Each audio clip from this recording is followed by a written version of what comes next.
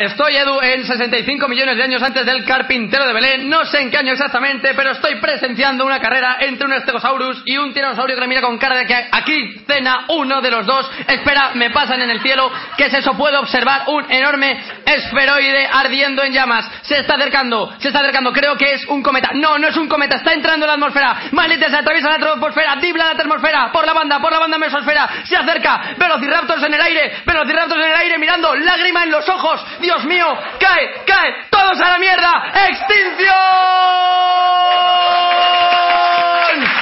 ¡Explosión! histórico! ¡Explosión! ¡Que te cagas! ¡Olas de 90 metros! ¡Ni una maldita lagartija con vida! Los mamíferos